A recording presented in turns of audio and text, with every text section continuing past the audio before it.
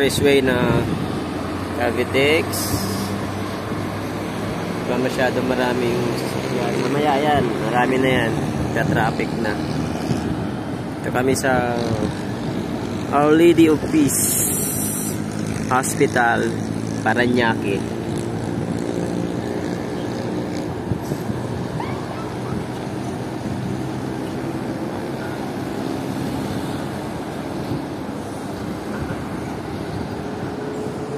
Yan, ito yung ginagawa namin na lagayan ng solar ballast tawag.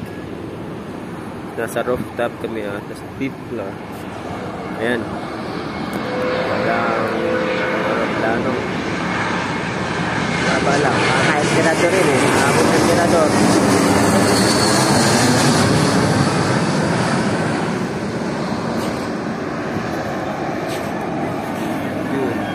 palanding na yun